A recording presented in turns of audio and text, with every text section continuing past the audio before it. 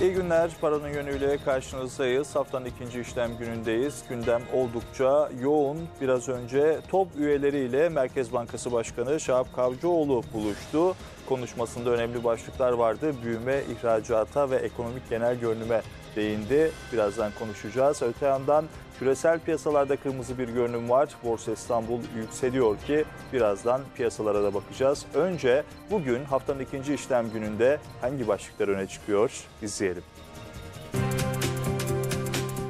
Başkan Erdoğan 5 Ağustos'ta Rusya Devlet Başkanı Putin'le görüşecek. Konuya ilişkin açıklama yapan Kremlin sözcüsü Peskov, Erdoğan ve Putin 5 Ağustos'ta görüşecek. Görüşmede tahıl anlaşmasının ne kadar etkili çalıştığı konuşulacak dedi.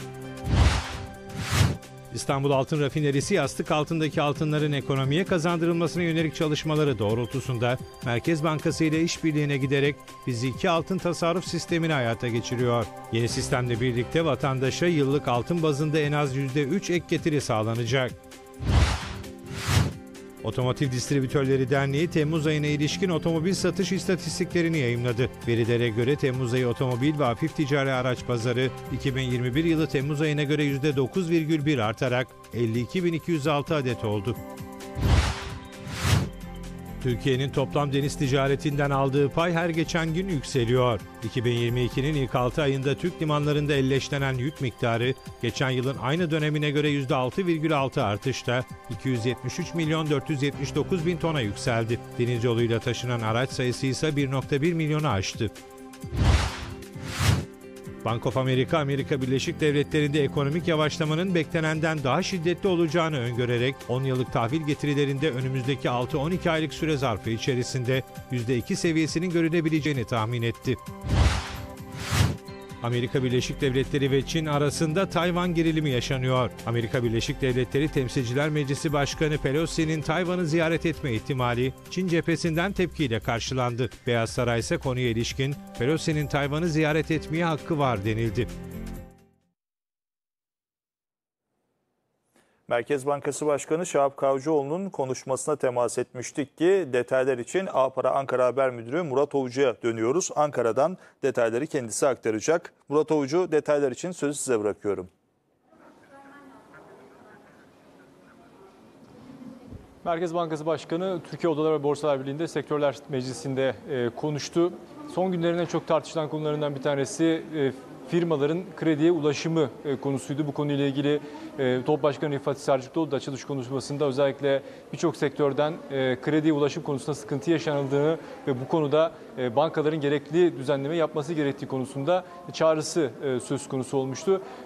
Başkan Şahap Kavcıoğlu'nun konuşmasında da yine Türkiye'nin ekonomik görünümü ön plandaydı ama özellikle krediler konusunda vermiş olduğu rakamlar önemliydi. Özellikle 2022 yılında e, firmaların kullanmış olduğu kredilerdeki hem miktar bazında hem de e, kredi bazında artışa dikkat çekti. Bakan e, Başkan Kavcıoğlu 2022 yılının ilk yarısında sağlanan kredilerin 2021 yılının aynı toplamına göre 4 kat arttığının altını çizdi. Oldukça ciddi bir kredi artışı gerçekleştiğini söyledi. Yine COBİ'lerin payında ise 14 katlık bir e, artış olduğunu da e, altını çizdi Başkan Kavcıoğlu. E, kredi kullanımında firma sayısının Aralık 2021 ile Haziran 2022 toplamında 1 milyon 878 binden 1 milyon 960 bine çıktığını yani 82 bin kadar bir artış olduğunu firma sayısında dile getirdi. Yine COBİ'lerde ise artışın 195 bin üzerinde olduğunu ifade etti ki 2 milyon 56 bin COBİ'nin bu dönem içerisinde kredi kullanımına e, kredi kullanımı sağladığını e, ifade etti. E, bankacılık sektörünün yapısının oldukça güçlü olduğunu söyledi. Bankaların özellikle sendikasyon kredilerinin %100'ün üzerinde geri dönüşünü sağladığını, yenilediğini ifade etti ve uluslararası akranlarından Türk bankacılık sektörünün pozitif ayrıştığını da altını çizdi. Hem likidite hem aktif kalitesi hem de sermaye yeterlilik oranları çerçevesinde Türk bankacılık sektörü uluslararası akranlarından pozitif ayrışıyor ifadesini kullandı. Yine kredilere vurgu yaparak özellikle kredilerin hedefli olarak kullanılması gerektiğini e, altını çizdi. İhracat, üretim, yatırım kapsamında e, e, bu kredilerin kullanılması gerektiğine vurgu yaptı ve Yine 2022 yılının ilk 7 ayında reaskont kredileriyle ilgili e, bilgileri paylaştı. Özellikle ihracatçı firmalara reaskont kredisi kapsamında kullandırılan e, kredilerin 2363'ten 4812'ye çıktığını e, ifade etti. Yine KOBİ e, bağlamında reaskont kredisi kullanan KOBİ'lerin sayısının da 1881'den 3439'a yükseldiğini ifade etti. Bu yılın ilk 7 ayı itibariyle gerçekleşen rakamlar. Yani 2022 yılında oldukça ciddi bir kredi genişlemesi olduğunu ifade etti. Ee, Başkan Kavcıoğlu ve özellikle bu kredi kullanımının cari dengeyi destekleyecek nitelikte alanlara aktarılması gerektiğini de ifade etti. Ee, Hem kaynakların reel sektörümüzde tabana yaygın şekilde buluşturulmasını hem de söz konusu kaynakların döviz kurları ve enflasyonda e, istikrarsızlık oluşturacak ve cari denge hedeflerimize katkı verecek şekilde kullanılmasını sağlamalıyız e, dedi e, Kavcıoğlu ve özellikle kalıcı fiyat istikrarının da cari dengeden geçtiğinin altını bir kez daha çizdi. Tabii sektör temsilcilerine de seslendi. Bundan, bu- bugüne kadar olduğu gibi bundan sonraki süreçte de e, reel sektörümüzü desteklemeye devam edeceğiz ifadesini kullandı Merkez Bankası Başkanı Şahap Kavcıoğlu. Apara Ankara Haber Müdürü Murat Avucu'ya aktardığı bilgiler için teşekkür ediyoruz. Kendisine kolaylıklar diliyoruz. Toplantıyı kendisi de yerinden takip ediyor. Şimdi hem bu başlığı hem de daha fazlasını konuşacağız. Bizlerle birlikte TOB öğretim üyesi Atılım Murat olacak. Hoş geldiniz yayına. Merhabalar. Merhaba, hoş bulduk. Teşekkür ediyoruz. Bu sıcak başlıkla başlayalım. Merkez Bankası Başkanı Şahap Kavcıoğlu temaslarını sürdürüyor. Ee, iş dünyasıyla buluştu. Burada bankacılık sistemine ve kredi sistemine ilişkin yine değerlendirmelerde, açıklamalarda bulundu. Genel itibariyle yapmış olduğu açıklamaları siz nasıl görüyorsunuz? Rakamlar üzerinden gidersek, e, yılbaşından beri yani BDDK verilerine baktığımız zaman e, 850 milyar TL'lik e, kredi kullanım kullanılmış. Yani bankalar üzerinden yani ağırlığı kamu bankaları olmak üzere özel bankalar da aynı şekilde. Çok büyük bir rakam bu aslında. Yani ki pandemi döneminde e, 2,5 e, trilyonluk bir kredi genişlemesi, kredi büyümesi vardı e, o iki yılda. Yani sadece ilk 5-6 aya baktığımız zaman e, 850 milyar TL gerçekten ciddi bir rakam. Ha, şirketler bunu nereye kullanmış? Mesela yine BDDK verilerinden e, baktım ben ve mesela bu e, her 100 birimlik 100 TL'lik krediyi, kredinin 30 TL'sini e, döviz borcunu ödemek için kullanmış. Yani dışarıdan aldığı yani içerideki borcunu ödemek için kullanmış. Bunun dışında da tabii enflasyon yüksek olduğu için de işletme sermayesi ihtiyacı olmuş ve işletme sermayesini güçlendirmek için kullanmış bunu. E, o nedenle yani şimdi e, ekonomi yönetimi kendi açısından haklı, e, öte yandan işte reel sektörü kendi açısından haklı. E, çünkü şöyle, şimdi ilk 5-6 ayda muazzam bir kredi genişlemesi var Türkiye'de. Yani reel sektör tabii çok rahat bir şekilde krediye ulaşmış. Az önce rakamı verdim, 850 milyar TL gibi bir rakam. E, çok büyük bir rakam. Ama tabii bir anda son 1,5-2 ayda kredi muslukları kapatılınca enflasyonla mücadele kapsamında enflasyonu kontrol altına almak için e, bu sefer de tabii e, kredi ulaşım zorlaştı ve reel sektörü şikayet ediyor.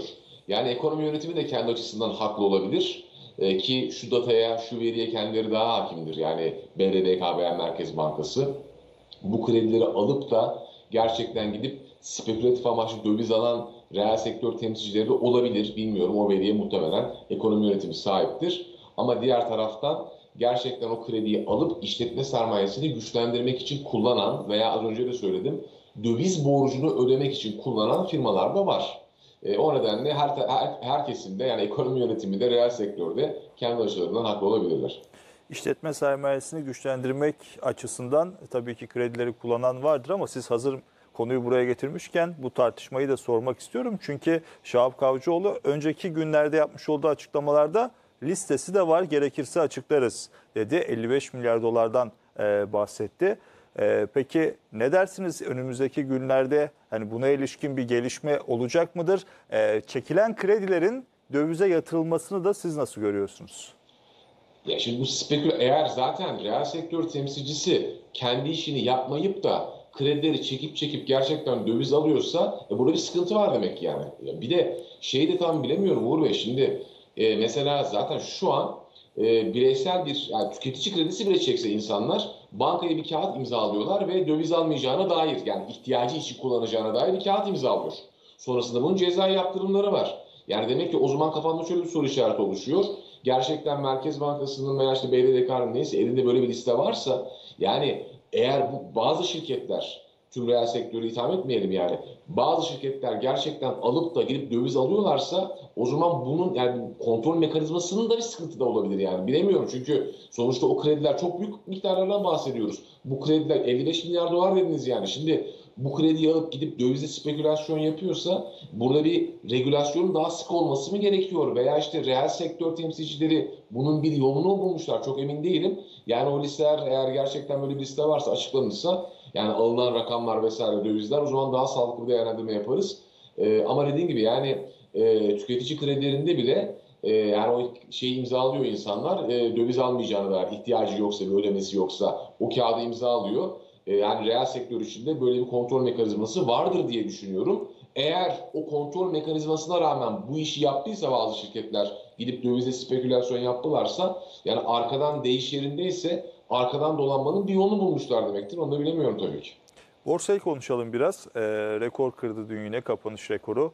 2684 puan seviyesi de gün içi rekoruydu. Geçtiğimiz aylarda kırmıştı. Şu an 2671 puan seviyesinde işlem görüyor. Buradaki genel görünümü nasıl görüyorsunuz? Pozitif görüyorum.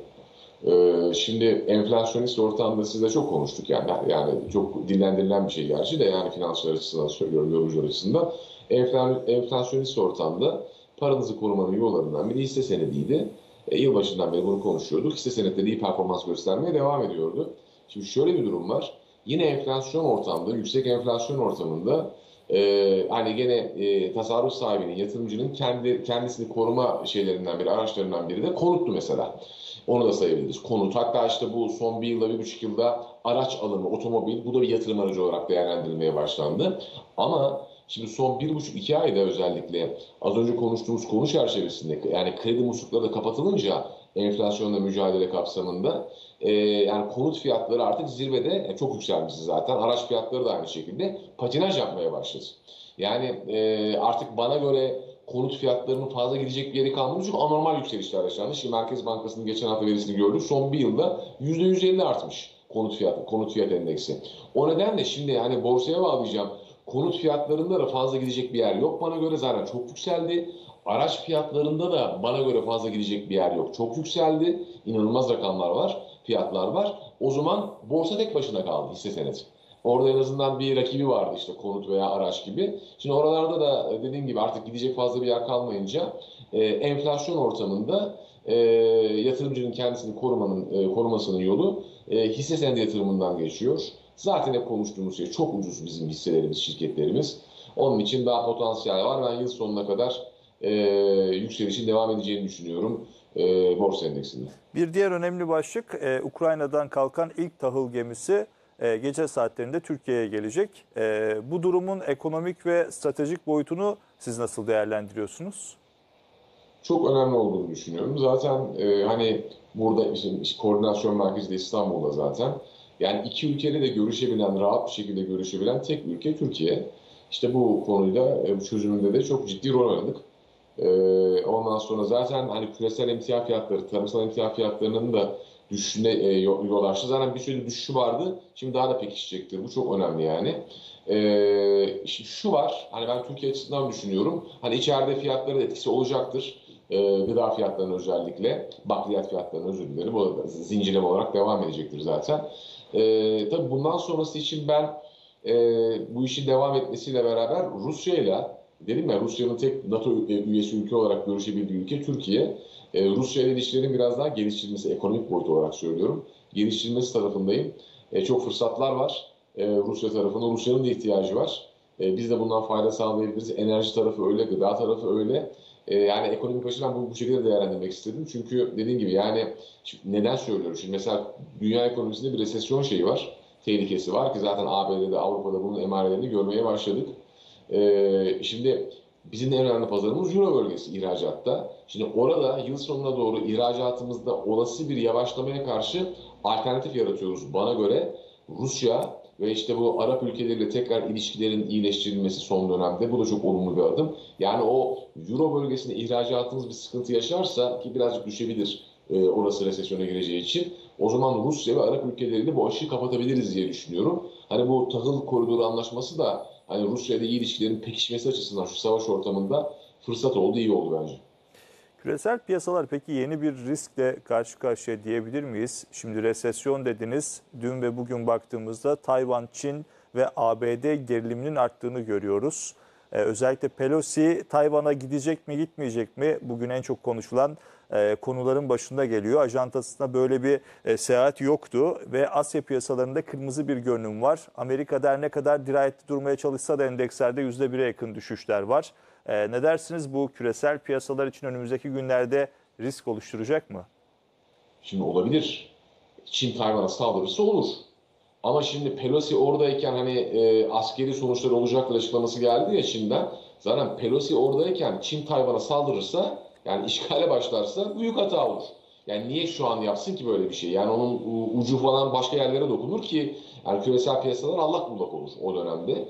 E, ben açıkçası yani Pelosi bir de şu var yani Amerika'nın istihbaratı da vardır herhalde. Yani e, Çin'in Tayvan'a şu günlerde saldırıp saldırmayacağının bir istihbaratı vardır. Zaten böyle bir istihbarat Pelosi'ye gitmiş olsa Pelosi oraya niye gitsin? Yani değiş yerine füzelerin, kurşunların, mermilerin uçuştuğu bir ortamda kadın oraya zaten gitmez. Küresel piyasalar açısından risk Çin'in Tayvan'ı işgal etmesidir. Bu seyahatte olmaz, bugünlerde olmaz ama olabilir önümüzdeki dönemde. Ya onu bilemiyorum tabii ki. O zaman küresel piyasalar e, allak bullak olur.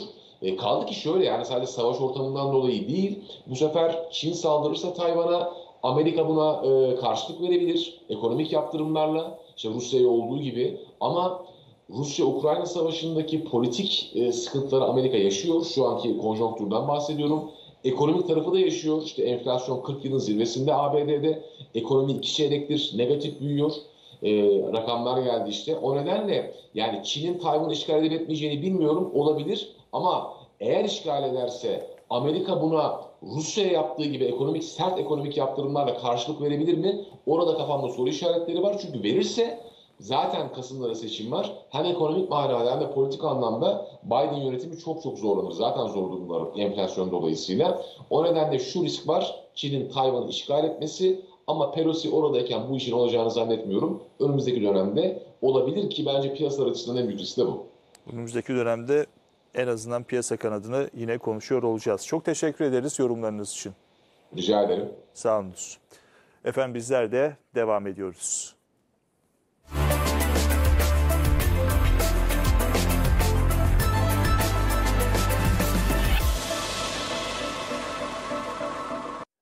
Efendim son günlerde halka arzların sayısı artıyor. Barem ambalajı konuşacağız. Bizlerle birlikte Barem Ambalaj Genel Müdürü Metin Kaya olacak. Sayın Kaya hoş geldiniz yayına. Merhabalar. Hoş bulduk efendim. Merhabalar. Teşekkür ederiz. Öncelikle hayırlı olsun. 3-4 Ağustos tarihleri arasında e, halka arz sürecinde talep toplama gerçekleşecek. E, neden halka arz olmayı düşündünüz? E, neden halka açılıyorsunuz? Öncelikle teşekkür ederim. Ee, umarım ülkemiz, şirketimiz ve yatırımcılar için olumlu bir hava olur ve olumlu bir gelişme olur halka arzımız. Ee, neden halka arz sorusuna ilk verebileceğimiz cevap kurumsallaşma kültürünü daha da iyi yerleştirmek, bir fon yaratmak, tabii ki şirketimizin gelecekteki yatırımlarını daha rahat realize edebilmek açısından. Fakat bizim son dönemde en önemli e, çalışma alanı olarak belirlediğimiz ihracat kanallarında daha bilinirlik, güvenilirlik sağlaması açısından halka arzı planladık ve şirketimizi bir değişim, dönüşüm içerisine sokmak istiyoruz. Daha fazla ihracata yönelmek istiyoruz. Yaklaşık 20 ülkeye ihracat yapıyoruz.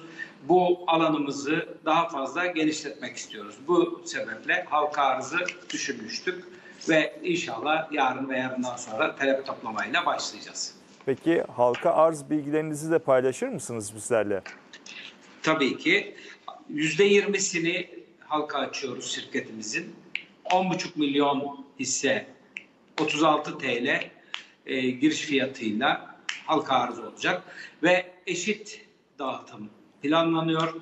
E, umarım yüksek miktarda bir talep ve teveccühle karşılaşırız. Açılışta halka arz süreci sürüyor. Halka arz rüzgarı var dedim. Bu anlamda düşündüğümüz takdirde bu dönemin halka arz olmak için doğru zaman olduğunu düşünüyor musunuz? Ee, biz yaklaşık bir yıldır e, bu konuyu çalışıyoruz ve e, dönemsel olarak uygun bir dönem olduğunu görüyoruz da. Son dönemde yapılan bütün halka arzlara çok büyük teveccüh gösteriyor Türk yatırımcısı. Bizim için uygun bir zaman, şirketimiz için de en doğru zaman olduğunu düşünüyoruz. Peki ne kadarlık bir talep bekliyorsunuz?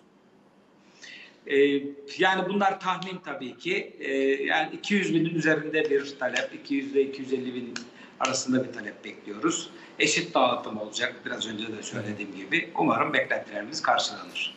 Eşit e, dağıtım olacak dediniz. Yabancı yatırımcıya pay ayrıldı mı peki? Hayır, yabancı yatırımcı için pay ayrılmadı. Peki e, bu kaynağı, bahsettiğiniz kaynağı nereyi kullanmayı düşünüyorsunuz? E, kaynağın %45'iyle kısa vadeli borçlar ve faiz ödemesi planlıyoruz. E, geri kalan %55 oranındaki kaynak ile de ham madde stoğu için kullanacağız ve yakın zamanda e, geçen yıl yaşanılan ciddi bir ham madde krizi vardı. E, onun etkilerini biz stoklu yakalandığımız ve bilinçli olarak stok yaptığımız için çok hissetmedik. Yine aynı yolla stok almak için kullanacağız. Biraz barem ambalajdan da bahsedelim mi? Faaliyetlerinizde neler vardır? 2022 yılı nasıl geçiyor? Tabii ki Barem Ambalaj 3 tesisiyle İzmir, Tire, Karaman ve Antep tesisiyle yaklaşık 80 bin metrekarelik alanda 44 bin metrekare kapalı alanda iş yapan baskılı, offset baskılı karton ambalaj tesisi kısaca. Yaklaşık 800 küsur kişi çalışıyor Barem Ambalaj'da. Genç bir ekibimiz var. Son yıllarda özellikle 2021-2022 yıllarında e, yatırımlar yaptık. 2020 yılı sonunda her iki Karaman ve Tire fabrikalarımızda birer baskı makinesi, büyük ebat ve e, yüksek hızlı makine yatırımları yaptık. Bunlar 2020 son çeyrekte realize oldu ve 2021'de full kapasiteyle çalıştık. 2021 yılı bizim için çok verimli ve olumlu geçti. Bunu finansal datalarımızda da, büyüme rakamlarımızda da görüyoruz zaten. 2022 yılı içinde ayrıca yaptığımız bir yatırımımız daha var. Bu yatırımımızda güneş enerjisi sistemi kurduk her üç fabrikamızın çatılarına. 3.6 megawatt gücünde ve Nisan sonu itibariyle full kapasite tüm tesisimiz tesislerimizde çalışmaya başladık. Bu sayede %16 ile 20 arasında enerji tasarrufu planlıyoruz. Bu bizi ayrıca mutlu ediyor. Çünkü yenilenebilir enerji çok ciddi bir kaynak herkes için, dünya için ve geleceğe daha temiz bir dünya bırakmak için. Arkasından yine aynı birinci çeyrekte 2022 yılında dünyanın en iyi makinelerinden, kesim makinalarından bir yatırımımız oldu. Onu da Tire fabrikada devreye aldık ve full kapasiteyle çalışıyor. Yaptığımız bu yatırımlar biraz önce de bahsettiğim gibi hedeflerimizde ihracatı daha da yoğunlaştırmak var. İhracat pazarında bizi çok daha iyi yerlere taşıyacak diye düşünüyoruz. Biraz sektörden de bahseder misiniz? 2022 yılı ambalaj sektörü için nasıl geçiyor peki? 2022 ve daha doğrusu son iki yıl, iki buçuk yıl ambalaj sektörü için hızlı bir büyüme getirdi. Ee, zaten sektör olarak ciddi bir büyüme içerisindeyiz son 10 ve 5 yıldır. Ayrıca pandemi şartları daha da büyümenin önünü açtı ambalajda. Özellikle tedarik zincirindeki kırılma sebebiyle ihracat pazarlarında şansımız daha da arttı. Bu sayede Batı Avrupa ülkelerine çok daha rahat girebilir hale geldik. Ee, zaten herkesin malumu olan ambalajın Doğu Avrupa ülkelerine doğru kaymasından biz de Türkiye olarak çok iyi faydalanıyoruz. Polonya ve Romanya bu alanda rakiplerimiz.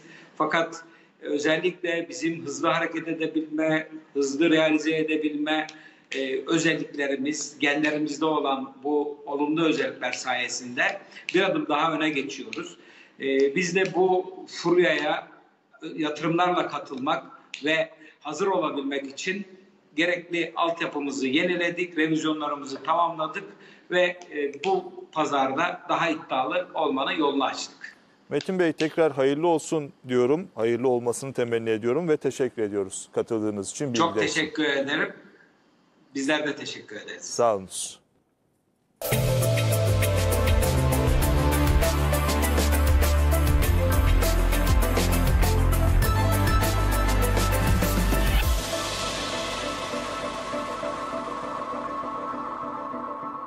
Efendim Türkiye'nin ilk hafif makineli tüfeği üretildi. NATO standartlarında 20'den fazla testi başarıyla geçen yerli tüfek emniyet güçlerine teslim edildi.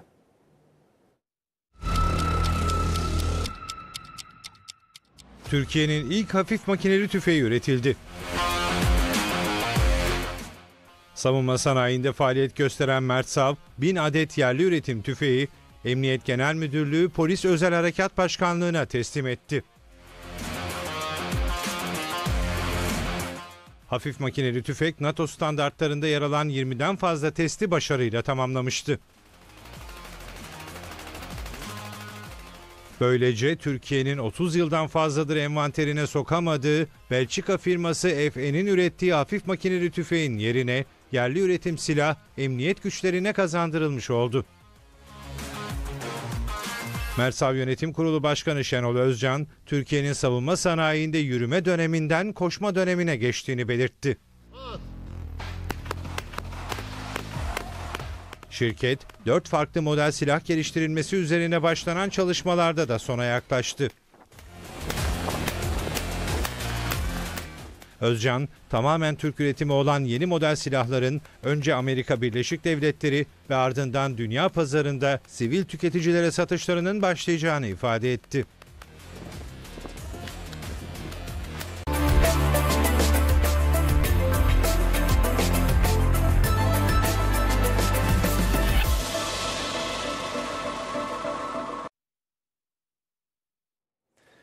Efendim Milli Savunma Sanayi'ni konuşacağız. Çok değerli bir konuğum var. Bizlerle birlikte Saha İstanbul Genel Sekreteri İlhami Keleş olacak. Hoş geldiniz, safalar getirdiniz. Hoş bulduk abi. Sağ ol. Tabii sadece milli savunma sistemini, sanayi sektörünü de değil, e, Saha İstanbul'u da konuşacağız. Saha Expo savunmayı da konuşacağız. E, daha önceki aylarda sizlerle bir program yapmıştık. Yanılmıyorsam Ukrayna-Rusya savaşı daha yeni cereyan Evet. etmeye başlamıştı. Hem sektörü hem sistemi konuşmuştuk ki gelinen son noktayı da yine çok merak ediyorum. E, ümit ediyorum ki yeni haberleriniz de vardır. Önce isterseniz Saha İstanbul savunmayla başlayalım. E, burada 2022 yılının ilk yarısı nasıl geçti? Rakamlar ne söylüyor?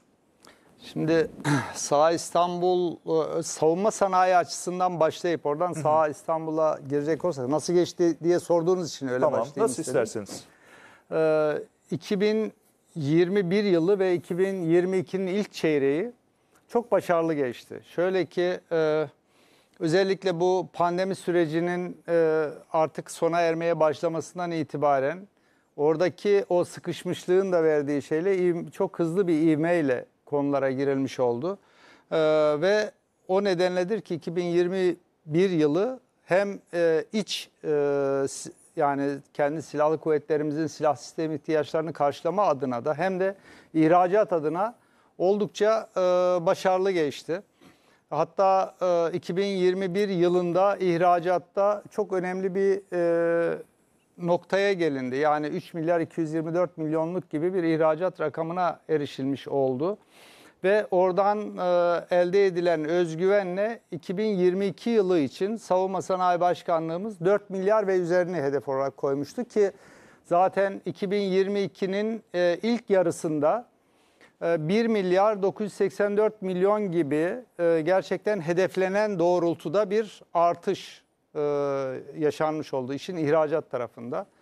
E, iç e, yani kendi ihtiyaçlarımıza dönük olarak e, oldukça e, kotanlı bir üretim söz konusu oldu. Bu hem e, yani hem rakamsal olarak hem de envantere giren ürün tip ve çeşitleri olarak e, çok e, o anlamda verimli geçti. E, o yönüyle 2022 yılı ve hemen ardından gelecek 2023 yılı e, savunma sanayimiz için e, çok e, ciddi dönüşümlerin, çok ciddi e, kazanımların tescillendiği iki yıl olarak adlandırabiliriz ki mesela bu yıl içerisinde çok önemli gelişmeler yaşadık, yaşamaya devam ediyoruz. Ee, örneğin ki çok önemli e, yani bütün dünyanın dikkatle izlediği bir gelişme yaşanıyor. O da TCG Anadolu konusu. TCG Anadolu'nun testleri başladı. İnşallah Ekim ayının sonunda eğer hani kısmet olursa, denk gelirse şeyle e, Saha Expo ile birlikte e, şeye envantere alma durumu söz konusu olacak ki burada TCG Anadolu'yu bu kadar önemli kılan, bu kadar hani dünyanın dikkatini üzerinde toplamasına Bu vesile olan önümüzdeki Ekim ayında olacak değil mi? Evet evet Ekim'in e, bu 2022 Ekim'de yani. Şu anda takvime uygun olarak gidiyor. Eğer hani bir aksaklık tabii testtir bu. Hani testlerde bir bir şeyler çıkar çıkmaz takvimde kayma olur olmaz şu an bilemiyoruz ama şu an güzel gidiyor şeyler. Ee, bunu bu kadar farklı kılan konu e, yeni bir konsept deneniyor. O da e, aslında başlangıçta helikopter gemisi diye dillendirilen yani anlaşılmayı kolaylaştırmak üzere öyle kullanılan tabir şimdi insansız uçakların savaş gemi şeyi gibi e, uçak gemisi gibi bir e, konsept deniyor Türkiye. İlk defa deniyor bunu. Dünyada ilk defa deneyen ülke oldu Türkiye bunu. Onun için Bayraktar TB3'ler tasarlanıyor sırf onların e, TCG Anadolu'ya özel olarak Bayraktar TB3'ler e, tasarlanıyor ki o da aşağı yukarı eş zamanlı veya işte 2023'ün başlarında şey yapılmış olacak. Test edilmiş. Ee, evet yani testleri başlamış olacak. Ee, işin bir tarafında bu var. Bir tarafında hürriyetlerin kısa pistlere inmesine dair tayı bir geliştirme yapıyor. Eğer hani o da başarılı olursa o da yine TCG Anadolu'da değerlendirilebilecek bir başka platform haline gelecek. Ayrıca ve daha önemlisi işte esas dikkatlerin yoğunlaştığı tarafta şey Kızıl Elma'nın da e, TCG Anadolu pistlerinden inip kalkacak şekilde tasarlanıyor olması. Hal böyle olunca e, artık uçak gemilerinde yani tıpkı nasıl şeyde e, diğer sistemlerde İHA'lar bir şey değişikliğine sebep oldu. Hani konvansiyonel harpte bir doktrin değişikliğine sebep oldular. Tıpkı onun gibi denizde de şimdi şeyler değişiyor. Ee, bu TCG Anadolu ile beraber orada da e, algılar değişiyor. Dolayısıyla e, o da çok e, önemli bir e, gelişme olacak. İnşallah bir aksaklık çıkmasa 2022 yılı içerisinde. E, bunun yanı sıra e, tabii çok değişik sistemler envantere girdi. Yani özellikle e, mühimmatlarla ilgili çok güzel gelişmeler oldu. Hava hava mühimmatları denendi ve başarılı oldu. Göktuğ de- denendi ve başarılı oldu. Bunu diğer şeylerden farklı kılan hava hava mühimmatları e, çok ileri teknoloji gerektiren mühimmatlardır. Yani bir e, ülkenin savunma sanayinde bir eşiği tanımlar hava hava mühimmatları. E, ve bunu e, üretebilen ülke sayısı çok sınırlıdır. Türkiye işte Göktuğ'la o sınıfa geçmiş oldu, o sınıfa girmiş oldu. Bunun gibi e, çok sayıda mesela insansız kara araçlarında çok güzel gelişmeler var ve işin güzel tarafı bu bunlar sadece bir firma üzerinden yürümüyor. Birden fazla firmalar. Aynı şey insansız su üstü deniz araçlarında mesela. E, yine aynı şekilde bir anda Türkiye'nin 4-5 tane markası oldu. Ve bunlar değişik konseptlerde, değişik yeteneklerde, değişik firmalar tarafından, değişik know-how'larla üretilen sistemler. Ee, aynı şekilde özellikle bu veri bağlarında, elektronik harpte, ondan sonra görüntü kıymetlendirmede, sürü e, şeyinde, sürü teknolojisinde, sürü İHA'larda, sürü algoritmalarında, e, kamikaze e, drone sistemlerinde, dronlara karşı hava savunma sistemlerinde, lazerle veya işte e, proximity tapalı e, mühimmatlarla dronlara karşı hava savunma sistemlerinde vesaire çok değişik alanlarda Türkiye çok geniş bir ürün yelpazesiyle bu döneme e, girmiş oluyor. Onun için işte 2022 yılı ve 2023 yılı savunma sanayi için çok e, şey böyle parlak iki yıl e, olarak tanımlayabiliriz. Çok önemli şeylerden bahsettiniz. Çok da heyecan verici. Ben dinlerken çok heyecanlandım. Ee, peki envantere katılacak olan bu araçlardan siz bahsetmişken ve ihracata yönelik rakamlar da vermişken şunu da merak ediyorum. Yeni işbirlikleri olacak mı? Yani yeni pazarlar olacak mı 2022 yılında? Yeni pazarlar çok hızlı şekilde açılıyor. Bunun e, burada bir takım şeyler var. Bizim e, kendi milli hasletlerimizden kaynaklanan avantajlarımız var. Nedir bunlar? Mesela biz daha önce e, malum özellikle uzun menzilli hava savunma sistemleriyle ilgili işte uzun e, süre Çin'le görüştük. İşte Amerika ile o Patriot'lar konusunu görüştük ama orada zaten teknoloji transferi hiç gündeme gelmemişti veya işte öyle bir kapı açık kapı yoktu orada ama Türkiye ısrarlıydı. Arkasından Çin'le işte uzun müzakereler oldu. Arkasından e, Rusya'dan işte S-400 tedariki söz konusu oldu ama bütün buralarda bu sırf bizim somut yaşadığımız örnekler olduğu için söylüyorum. Diğer kalemlerde de böyle. Buralarda bu tip ülkeler teknoloji paylaşımına yanaşmıyorlar.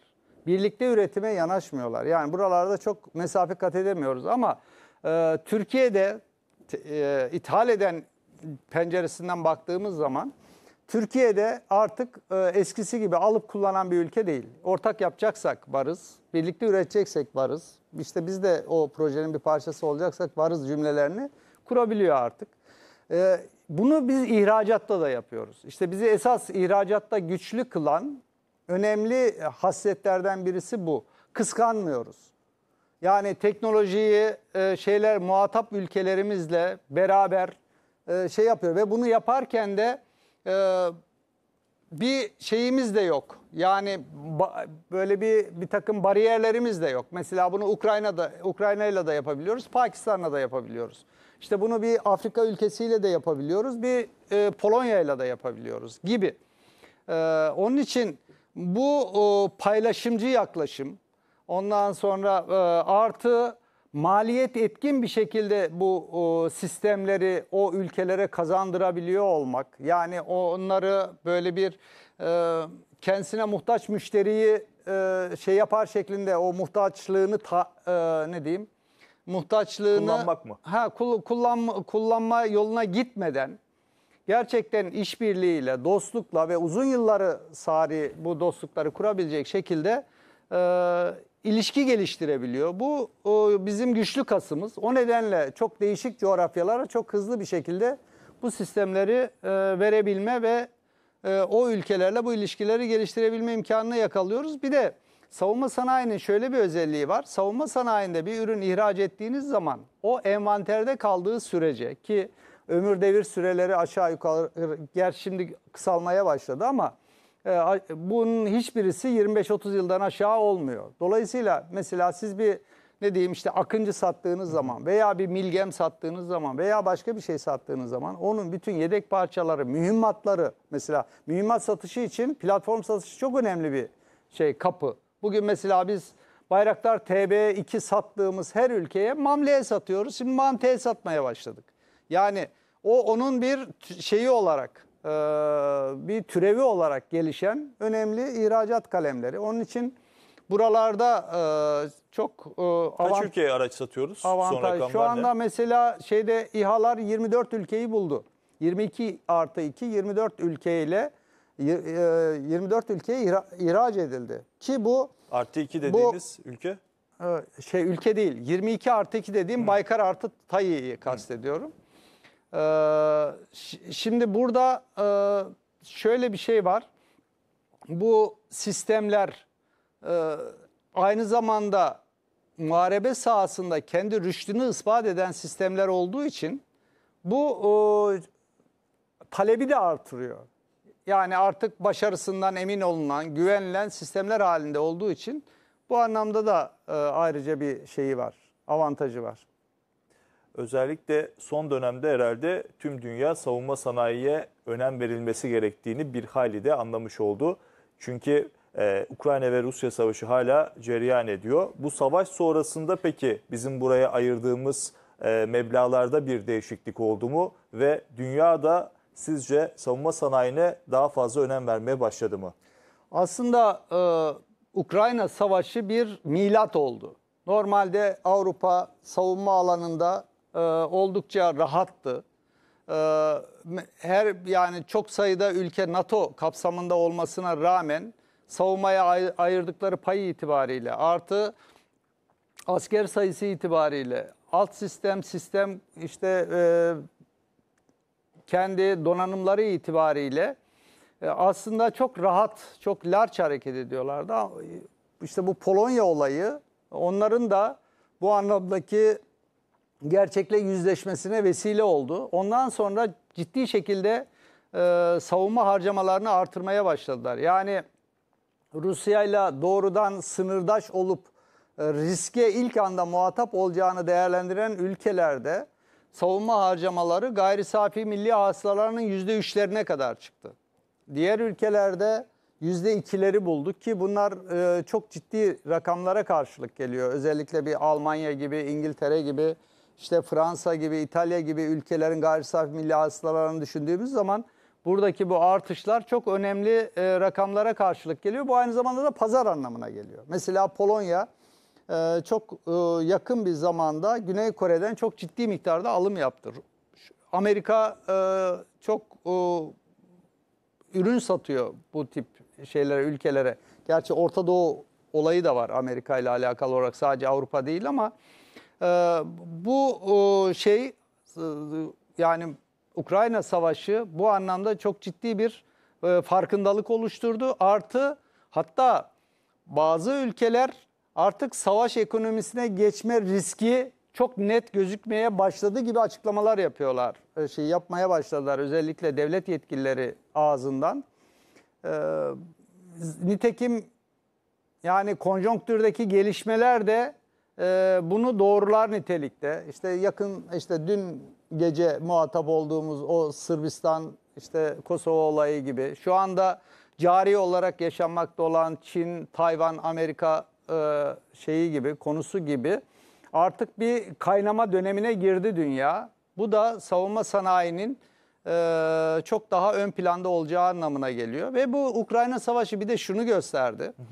Gerçekten milli sistemlere sahip olmak ne kadar e, önemli bir ülkenin bağımsızlığı için, özgün dış politika geliştirebilmesi için, kendi haklarını, menfaatlerini uluslararası arenada koruyabilmesi için milli sistemlere sahip olmak, kendi ürettiği sistemlerle bu ihtiyaçları karşılamanın ne kadar önemli olduğunu da e, çok net bir şekilde ortaya koymuş oldu. Onun için 2004 yılında başlayan Türkiye'nin bu e, hızlandırılmış e, sürecinin e, şu an geldiği nokta itibariyle ne kadar doğru bir nokta olduğunu da ortaya koyuyor.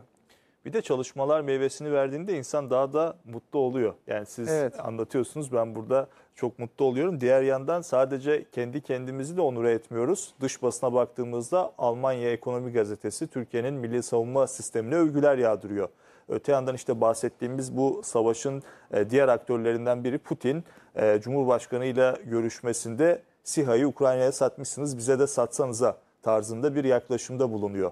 Ee, dış basın olsun, e, Putin gibi bu tarz geri dönüşler olsun. Bunlar peki ne hissettiriyor? Ne Ya dersiniz? gayet tabii. Şimdi e, Uğur Bey ben eski e, şeyleri yani e, bizim işte e, Amerika'dan gelecek bir VD1 TT kablosuna muhtaç olduğumuz günleri yaşay- yaşayıp o günlere de tanık olan, bugünlere de tanık olan birisiyim. Onun için bunun bendeki anlamıyla genç olan sizlerdeki anlamı aynı olmayabilir.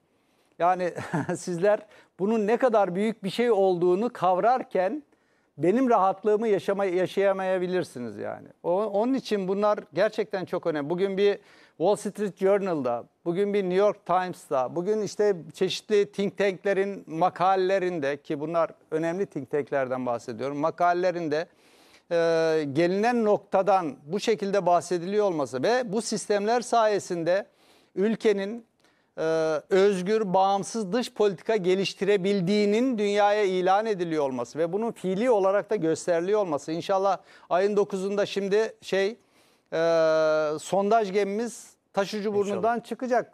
E, yani bütün bunlar e, bütün bunlar özgün bir dış politika kendi menfaatlerini öncelikleyen ve kendi kararlarıyla kendi dış politikasını şekillendirebilme gücünün bir göstergesi. Dolayısıyla savunma sanayi o anlamda yani bir ülkenin bağımsızlığının deklare edilmesi anlamında en temel parametre ki bu Türkiye için çok çok daha önemli. Çünkü Türkiye fay hatları üzerinde bir bölge. Bugün e, işte Suriye'sinden Irak'ına, Doğu Akdeniz'inden Kafkasya'sına, işte kuzeyindeki e, işte Batı Avrupa'sından e, işte Doğu Avrupa'sına bütün her tarafıyla e, fay hatları üzerinde bir ülke olarak bizim burada kendi milli savunma sistemlerimizle e, kendi bağımsızlığımızı deklare ediyor olmamız e, çok kıymetli. Burada bir de şuna dikkat çekeyim. Ee, şimdi savunma sanayi diyoruz. Savunma sanayini bu anlamda e, tabii nihai bir sonuç olarak ele alıyoruz. Ama bu ürünler e, işte 3-5 tane firmanın ürünleri değil. Bugün bir e, işte bir Milgem dediğiniz zaman arkasında yüzlerce firma var. Bir TCG Anadolu dediğiniz zaman arkasında binlerce firma var. Bir işte Akıncı dediğiniz zaman arkasında yüzlerce firma var. Dolayısıyla aslında e, o ekosistemiyle bunlar var. Yani e, Türkiye'nin o ekosistemi bu ürünleri üretebilecek hale geldiği için Baykar bunu üretebiliyor, TAYı bunu üretebiliyor, Aselsan bunu üretebiliyor. Bugün Ase- Sürdürülebilirlik de oluyor böyle olunca. hem sürdürülebilirlik hem de e, oralardan beslenmeden bunların ortaya çıkma iht- imkan ihtimali yok. E, en ufak bir ambargoya muhatap olduğunuzda ortada kalma riskiniz çok yüksek. Nitekim bunları yaşadık ve yaşadıkça da o, o anlamdaki ihtiyaçları karşılayacak hale geldik. Tam da bu noktada Saha İstanbul işte bütün bu ekosistemin bir kümelenmesi olarak karşınızda. Şimdi e, her şeye değindik. İlk sorduğum yere geldik. Hazır öyleyken Evet. Fuara da değinelim. Süremiz daralıyor çünkü fuarı da detaylı bir şekilde anlamak istiyoruz. Hı, anladım. Saha Expo Savunma, Havacılık ve Uzay Teknolojileri Fuarı Ekim ayında gerçekleşecek. Kaç Evet. gün gerçekleşecek? Bu fuarda neleri göreceğiz? Kimler katılacak? Lütfen anlatın bize. Tamam. Şimdi bu fuar 25-28 Ekim tarihlerinde 4 gün olarak fiziki olarak yapılacak. İstanbul Fuar Merkezi'nde e, yani Yeşilköy'de o Dünya Ticaret Merkezi'nin oradaki İstanbul Fuar Merkezi'nde bu fuarı gerçekleştiriyor olacağız. E, bir önceki fuarla aynı yerdeyiz. Şimdi e, bu fuar e, çok özellikli bir fuar. Nedir bu fuarı özellikli kılan? Bu fuarın konseptinde e, dünyada bir başka savunma sanayi fuarı yok. Böyle bir alan yakaladık. Nedir bu alan? Bu alan savunma sanayicilerinin sanayi ihtisas fuarı. Yani savunma fuarı dediğimiz zaman işte e, IDEX'ler, işte D- DCI'ler, ondan sonra DIMDEX'ler, işte ne bileyim Eurosatori'ler vesaire vesaire bütün bu fuarların tamamı bizim İDEF gibi aynı formatta platformların ön planda olduğu fuarlar. Ama o platformları üreten sanayicilerin bir sanayi ihtisas fuarı şeklinde savunma sanayi fuarı yok. Dolayısıyla biz böyle bir konsept yakaladık ve bu konsept üzere e, bu fuarı icra ediyor olacağız. Şimdi bu fuar üçüncüsünü işte kısmetse Ekim 25-28 Ekim tarihinde yapıyor olacağız. Bu fuarda bu fuar uluslararası bir fuar ve buradan bir dünya markası çıkarma gayretimiz var. O nedenledir ki şu anda o fuar e, Cumhurbaşkanlığı himayesinde dört bakanlığımızın artı savunma sanayi başkanlığımızın destekleriyle hatta bakanlarımızın ve savunma sanayi başkanımızın 104 ülkeyle ıslak imzalarıyla muhataplarıyla e, yazıştıkları ve o şekilde resmi delegasyonların e, davet edildiği bir fuar. Ee, aynı şekilde yabancı firma katılımları, ticaret heyetleri e, gibi şeylerle uluslararası nitelikte, uluslararası hüviyette gerçekleşen bir fuar olacak inşallah. Şimdi burada bu fuarda bizim temel motivasyonumuz özellikle alt sistem, sistem, parça, komponent üreten ve aynı zamanda savunma sanayiye e, ürün geliştirebilme potansiyeline sahip firmaların hem e, şeylerle e, platform üreticileriyle, yabancı firmalarla ve delegasyonlarla e, illiyetini geliştirmek, onlarla ilişkilerini geliştirmek ve bunun içinde bunların bu ilişkilerini geliştirecek ortamları onlara sunmak. E, bunu sağlıyor olacak bu fuar. Bu fuar bunu yaparken biz firmalarımızın hem yeteneklerini, işte ürünlerini hem de tedarik ettikleri şeyleri biliyor olarak bu fuara, fuar öncesinde kendilerine enformasyonlar vererek e, bu fuarı yapıyor olacağız ki B2B organizasyonların da yine bu süreç içerisinde gerçekleşecek. İlhan Bey iki dakikam kaldı. Şunu da merak ediyorum. Girişimci firmalara hangi destekler verilecek bu fuarda? Girişimci firmaların e, şöyle saha girişim kapsamında 15 tane firmayı destek kapsamına aldık ve bu kapsamda destekleyeceğiz. Bu fuarda o projelerimiz de, o firmalarımız da olacak. O firmalarımızın projeleri de bu fuarda olacak. Ve burada bir taraftan bunlar yatırımcılarla bir araya getirilirken bir taraftan sektöre yani olası müşterilerine bunların e, tanıtılması ve e, yani müşteri potansiyellerinin şimdiden oluşturulmasına destek sağlayacak şekilde bir fuar şeyi olacak. Onların o proje sunumları vesaire bütün onlar bu program dahilinde. Ee, Aynı zamanda bu o, firmaların o sürece gelinceye kadar yatırımcıya hazırlanmasına dair destekler de onlara veriyor olacağız ki süreç şeyler yeni seçildi projeler ve e, destek süreçleri başladı.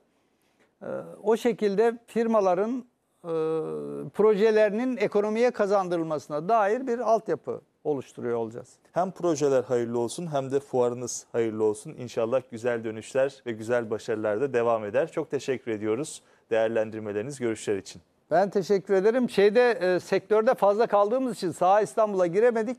E, bu konuda e, sizi borçlu ilan edelim ve Sağ İstanbul'u konuştuğumuz bir başka programda da inşallah Sağ İstanbul'u anlatıyor Memnun oluruz. oluruz. Biz e, Ekim ayında dediğiniz fuar öncesinde e, inşallah güzel İnşallah. bir program yine yaparız. İnşallah. Sağ olunuz.